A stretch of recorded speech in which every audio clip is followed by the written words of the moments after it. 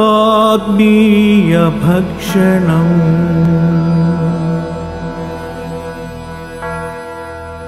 പിതാവിനും പുത്രനും പരിശുദ്ധ റുഹായിക്കും സ്ഥിതി നാം എല്ലാവരും നമ്മുടെ ഇപ്പോഴുള്ള ജീവിത സാഹചര്യങ്ങളെ ഭാഗ്യമായി കരുതുന്നവരാണ്.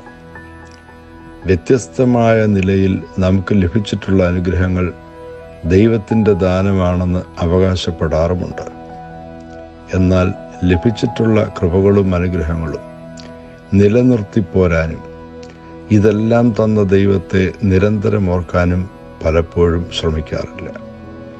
വിശുദ്ധ വേദപുസ്തകത്തിൽ പതിനാറാം സങ്കീർത്തനം ആറാം വാക്യം അളവുനൂൽ എനിക്ക് മനോഹര ദേശത്ത് വീണിരിക്കുന്നു.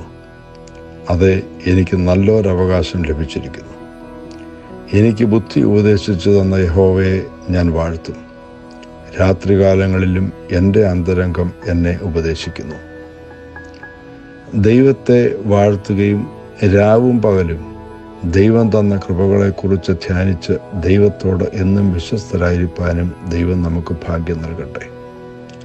അപകടം നിറഞ്ഞ ഈ ലോകത്തിൽ ദൈവത്തിന്റെ കരങ്ങളിലാണ് നമ്മുടെ സുരക്ഷിതമെന്നും ഇതൊക്കെയും ദൈവം തന്ന ദാനമാണെന്നും മനസ്സിലാക്കി ദൈവത്തെ ചേർത്തു പിടിച്ച് ഈ അനുഗ്രഹങ്ങളോട് ചേർന്ന് ദീർഘായുസോടെ ഇരിപ്പാൻ ദൈവം ഭാഗ്യം തരട്ടെ എന്ന് പ്രാർത്ഥിക്കുന്നു.